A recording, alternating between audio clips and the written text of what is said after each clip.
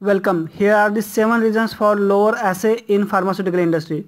All are equally important. Don't miss any reason. Subscribe to channel for more informative content.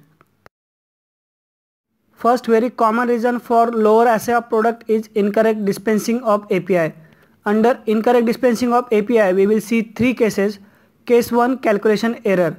Prior to doing API dispensing, correct calculation for API dispensing shall be done. Error during calculation considering the assay value may lead to lower assay.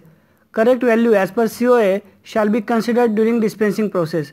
Second reason for calculation error is recommended calculation factors like loss on drying API salt forms are not considered during calculation.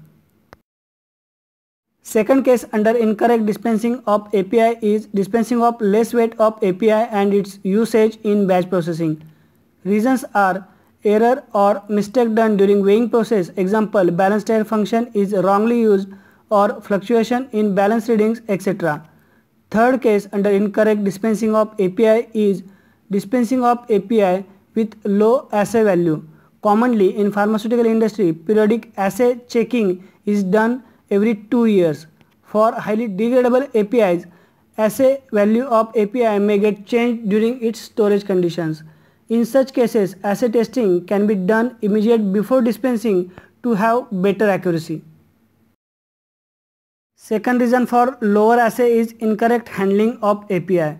In case not all dispensed material or API is transferred for the manufacturing or spillage of API during handling or addition procedure or in case of light sensitive, oxygen sensitive products and products prone to hydrolytic reaction these are not handled as per the recommended precautions in the batch manufacturing record.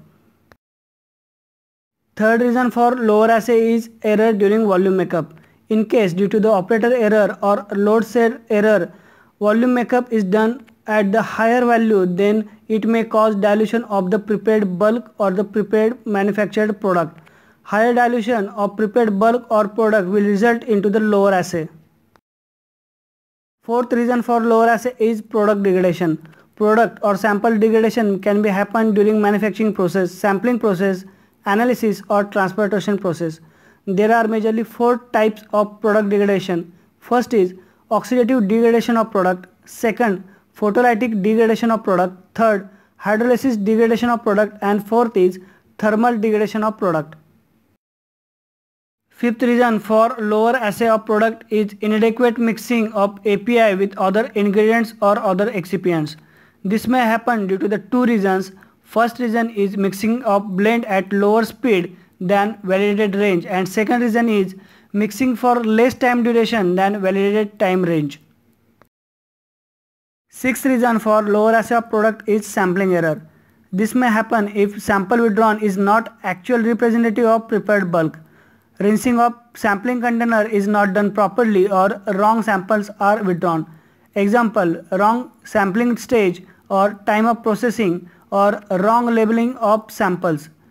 Usage of wrong sampling containers will also contribute to lower assay. Example, in case of light sensitive products, amber color containers shall be used for sampling. In case of injectable preparations, sampling valve flushing is not done properly. Seventh very important reason of lower assay of product is analytical error. This may happen due to the sample dilution, usage of incorrect or contaminated or expired reagents, technical error or instrument error. Keep watching PharmGrow, subscribe to channel for more videos related to our pharmaceutical industry.